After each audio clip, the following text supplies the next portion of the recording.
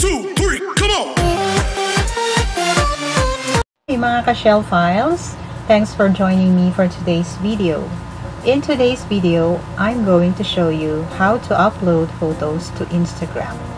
This will save a lot of time. This gonna be really easy, so let's start. Okay, number one, open your Instagram account from your laptop. So this is my Instagram account from my laptop. I am using Google Chrome by the way. Two is click the three dots right there. Go to more tools.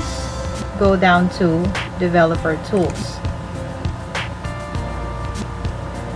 This developer tools will open up on intimidating codes and stuff. Don't worry about that. Just go to blue button here. Okay, which is your toggle device toolbar. Okay, make sure to click on that. Okay, because it will mm, toggle between your website mode and mobile website mode. Also, make sure to refresh your page.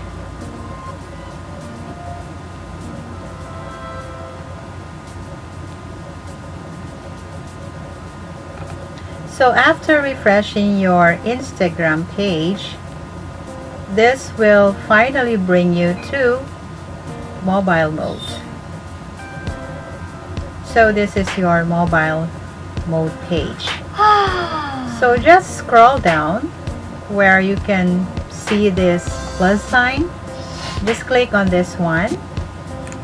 It will direct you to your gallery. So from your gallery, just select your photo that you would like to upload to your Instagram.